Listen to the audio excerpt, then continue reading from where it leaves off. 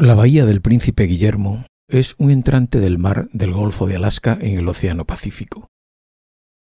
Una gran parte de las tierras que rodean la bahía pertenecen al Bosque Nacional Chugach, que es uno de los más grandes de Estados Unidos.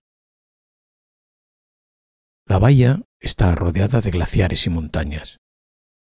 Existen numerosas islas que forman la barrera de la bahía.